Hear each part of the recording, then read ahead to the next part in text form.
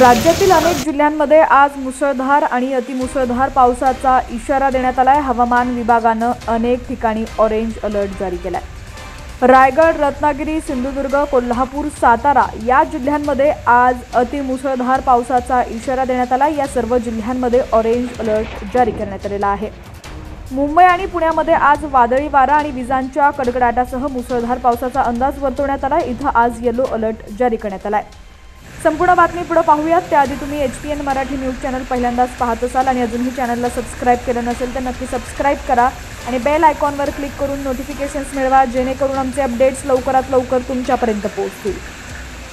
तर मराठवाडा आणि विदर्भातील जिल्ह्यांमध्ये तुरळक ठिकाणी विजांच्या कडकडाटासह वादळ सोसाट्याचा वारा चाळीस ते पन्नास किलोमीटर प्रति तास वेग आणि मुसळधार पाऊस पडण्याची शक्यता आहे.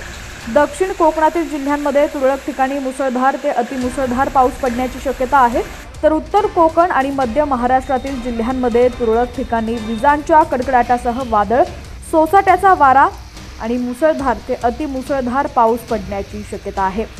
पालघर ठाणे धुळे नंदुरबार जळगाव नाशिक अहमदनगर पुणे छत्रपती संभाजीनगर जालना धाराशिव अकोला अमरावती भंडारा बुलढाणा गडचिरोली गोंदिया नागपूर वर्धा वाशिम यवतमाळ या जिल्ह्यांमध्ये येलो अलर्ट देण्यात आलाय.